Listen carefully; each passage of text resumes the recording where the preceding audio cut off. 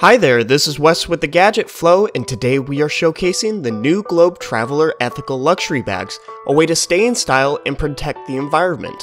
Featuring upcycled leather and tire inner tubes, each bag in this line is environmentally friendly while helping to provide education for underprivileged children. With your purchase, you provide primary school education for an underprivileged child in a developing country for an entire year.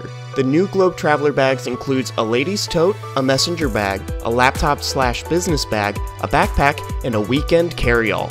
Learn more about new Globe Traveller bags at thegadgetflow.com.